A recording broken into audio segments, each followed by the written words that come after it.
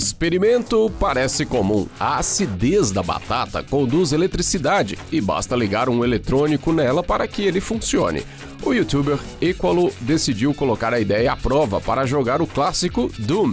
A ideia era fazer o experimento com o Raspberry Pi. Equalo usou mais de 45 quilos de batatas, cortados em 770 pedaços, e não conseguiu ligar nem o pequeno computador. Ele então partiu para uma calculadora gráfica TI-84 que tem voltagem menor. Conectou 100 batatas ao dispositivo e pronto, conseguiu jogar Doom de forma relativamente satisfatória.